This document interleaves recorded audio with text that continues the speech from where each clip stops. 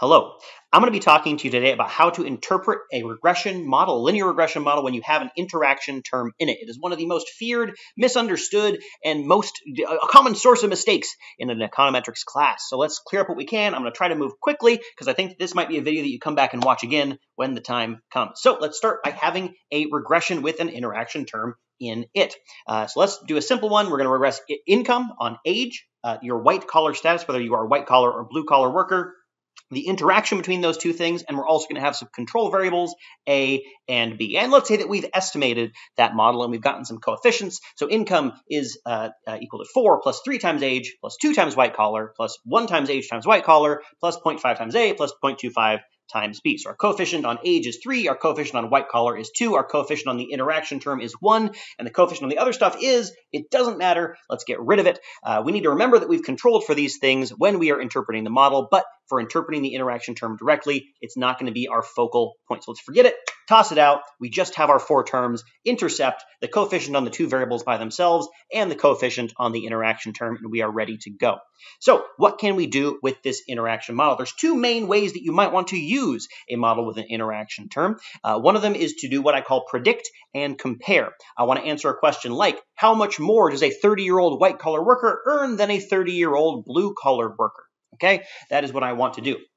And when this is the kind of question that you have, all that you have to do is treat it like any other regression model that you possibly could have and just plug in the values that you want to predict with. That's all that you have to do. Just plug in values. So I want to know how much more a 30-year-old white worker, white collar uh, worker earns than a 30-year-old blue collar worker. I just plug in values. How much does a 30-year-old white collar worker earn? I plug in the age of 30 and I plug in the white collar value of 1. So uh, what happens there? Well, I have my 4 intercept. That stays there. Uh, 3 times age, age is 30. Uh, 2 times white collar, white collar is 1.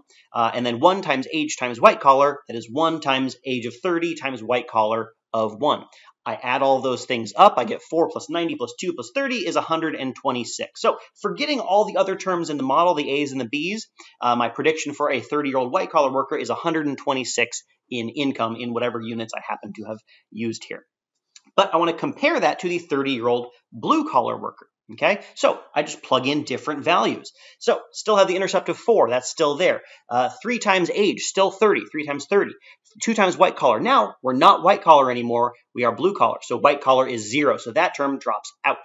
1 times age times white collar, that is 1 times 30 times 0. That's gone too. So all we have for this blue collar worker that's 30 years old is 4, the intercept, plus 3 times age, uh, just 3 times 30 for 94. So we've predicted 126 for our white collar worker, 94 for our uh, blue collar worker. Subtract the two, and we would say that a 30 year old white collar worker earns uh, uh 32 more than a 30 year old blue collar worker.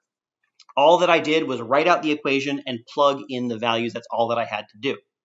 Writing out the equation when you have an interaction term is a good idea because all that you're really going to be doing when you're working with these models is plugging in the appropriate values to figure out what's going on. To see that again, let's use the other approach that we might take when we have a model with an interaction term with it. Let's say we want to understand the effect of one variable.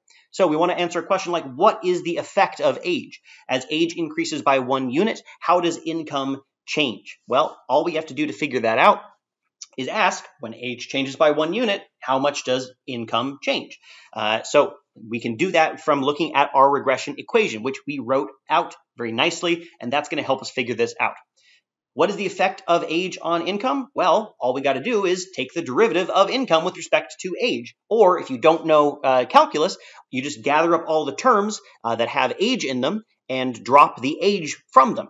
Uh, and as long as there's no squareds or anything like that in your model, that will work out the exact same way. So what are the terms that have age in them in this equation? Well, we have 3 times age, and we have 1 times age times white collar. We can ignore everything else. If we're only interested in the effect of age, these are the only terms that matter.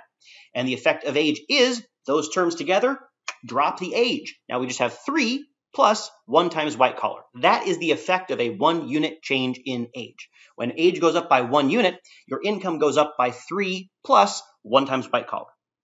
That is the effect of age. Now, that's not a single number yet because we don't know what value white collar takes. Then, just like before, we plug in. Uh, if we want to know the effect of age on income for a white collar worker, uh, then we plug in a value of 1 for white collar. So a white collar worker, if their age increases by one, then their income increases by three plus one times white collar. White collar is one, so that's three plus one is four. A one unit increase in age will increase a white collar worker's income by four. Uh, now for a blue collar worker, the effect of a blue collar worker's age on their income is 3 plus 1 times white collar. White collar is 0. That term goes away. We're just left with the 3, uh, which is also the coefficient on age itself. Uh, if the value of the other variable is 0, in this case, the value of white collar is 0 for a blue collar worker, then the coefficient on the age itself is the effect of age, right? Uh, so the effective age for a blue collar worker is 3, which is just the coefficient on age. Uh, the effect of uh, uh, age for a white collar worker is 3 plus the intercept or the interaction term 1 uh, times age times white collar, so 4. Uh, and so the difference between them is 4 minus 3 or 1, uh, which is also the interaction term itself. That's what the interaction term is. It is the difference in the effect of one variable when the other variable changes by one unit. So white collar went from 0 to 1, it changed by one unit, and the effect of age changed by the value of the interaction term, which here happens to be 1. That is how you inter interpret a model with a inter interaction term in it when you got a linear regression with an interaction term. Uh, and uh, hopefully that helps you out. Just write out your equation, plug things in. Uh, and if once you do that, it works pretty much like a regular regression does. Thank you.